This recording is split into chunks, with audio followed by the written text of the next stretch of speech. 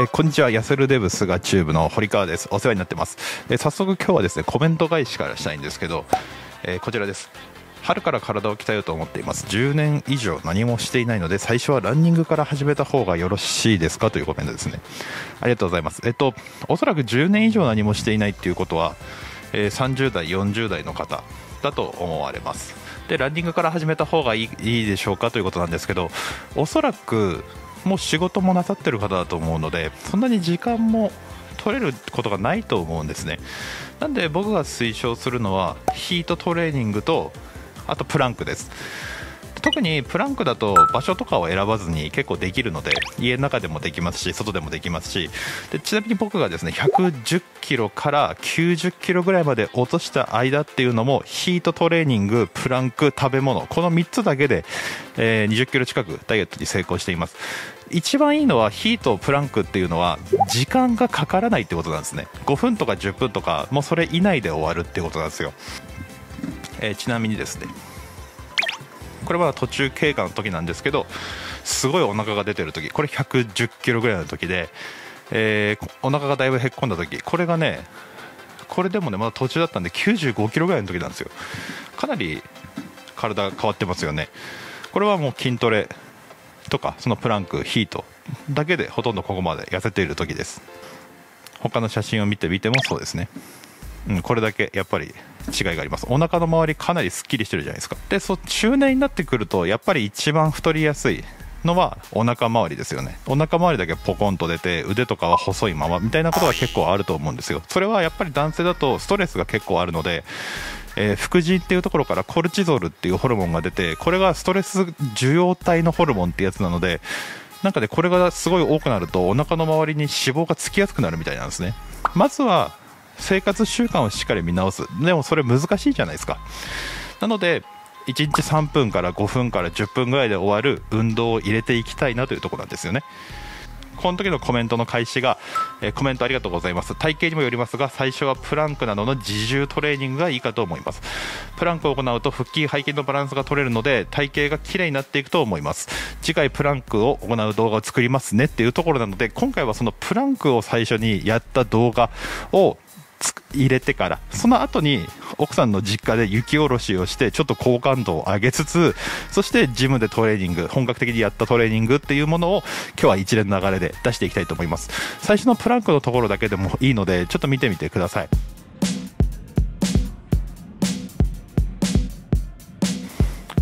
えチャンネル登録お願いします。あと3秒で始まります。最初はノーマルプランクですね。できれば僕もこのプランクっていうのは板という意味があるので背骨のこの頭から足元までピッと一直線にしたいんですけどちょっとまだ僕体幹が弱いのがちょっとまだあまりうまくはないですね。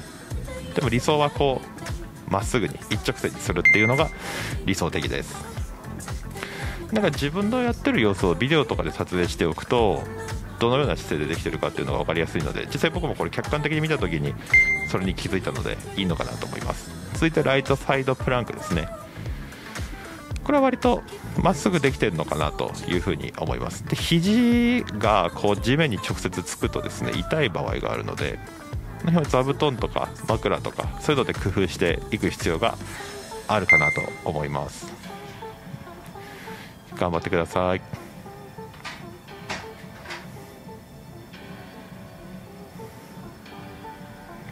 続いてレフトサイドプランクですね。結構僕の場合は20秒でもしんどいです。人によってあの楽とか辛いとかもう少し伸ばせるとかいう人もいると思うのでそういう方は21秒22秒やっぱり回数重ねてのあの時間を伸ばしていったりあと時々姿勢を確認してみるっていうのはあのいいのかなと思います。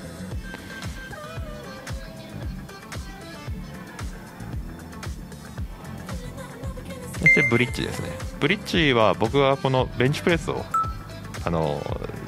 重量を上げやすくするようにブリッジの姿勢を強くするようにあの入れてるので。でもあのこれも全然やっていいと思います。背筋力もかなり養われると思うので、えー、今やった4種目をあと1周やっていきたいと思います。でも20秒で終わるのでよければ一緒にやってください。そしてプランクによって得られる効果ですね。まず筋量がアップしますね。筋量がアップすると基礎代謝が向上するので日常生活でエネルギー消費量が増えるのでその脂肪で体重が重い時よりも筋肉で多少重量がついたとしても痩せやすい体型になるというふうに言われてます。でプランクでは腹筋が鍛えられるので腹部の引き締め効果がとてもあります、えー、プランクはインナーマッスルっていう体のコアの部分の筋肉でお腹の引き締めにつながります。個人的にはこう腹筋背筋がバランスよく鍛えていくと便秘になりにくくなったかなというような印象もあるので便秘で悩んでる方とかは結構この筋トレっていうのは大事なんじゃないかなと思います。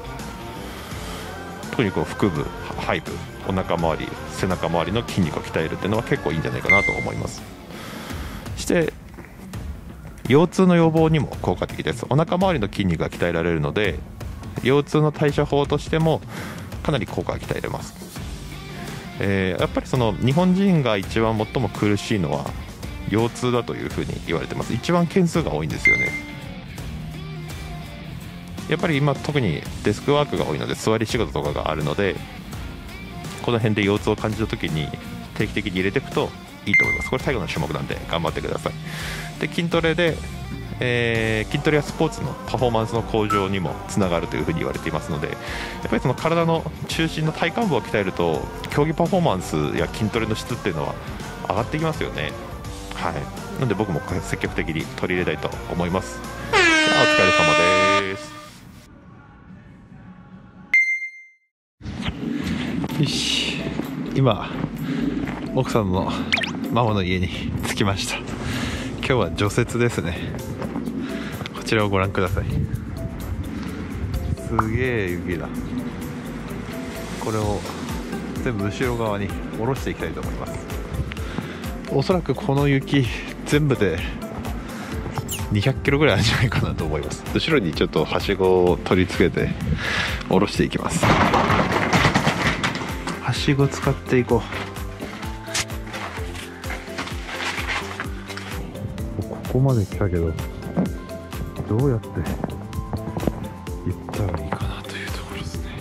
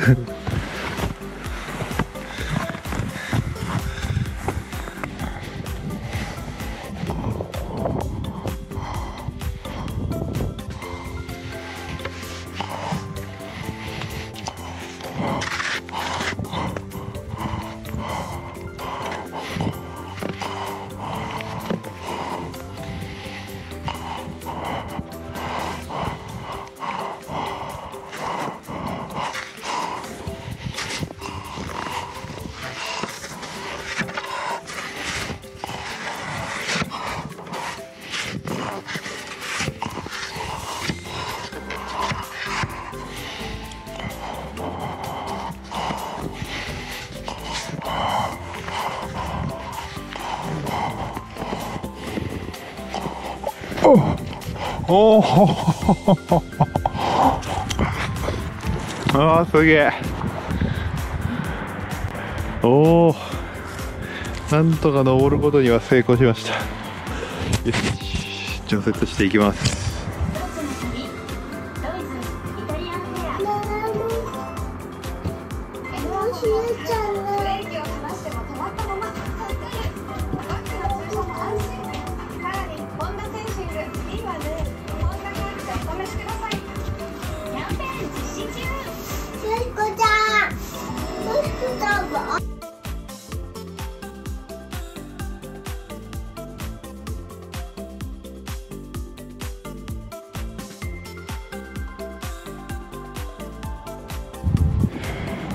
しいいでしょう。大体屋根も見えたからよしとします。ちょっと向こうの方怖いんですよね。で今日はこの辺で終わりたいと思います。片付けます。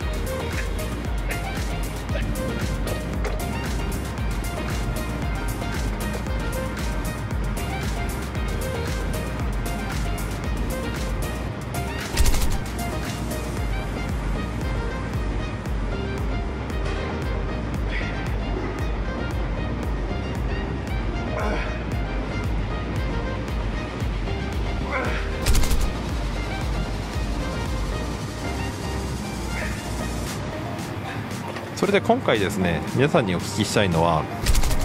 トレーニングはされてる方結構多いと思うんですけどプロテインを飲んでいる方がどれぐらいいるかっていうことを聞いてみたいです。プロテインを飲んでいますか？また飲んでる方はどのようなプロテインを飲んでいますか？プロテインって結構すごい量の種類があるのでその人の体型とかその人がどうなりたいかによって飲む種類ってみんな変わってくると思うんですよね。僕はザパスの原料のタイプのプロテインを飲むようにしています。ソイプロテインっていうジャンルのやつですね。チョコレート味でとっても美味しいです。はい。皆さんのプロテインなんかおすすめの推しプロテインなんかがあったらそれも教えてください。今日は以上です。また次回もよろしくお願いします。お疲れさんです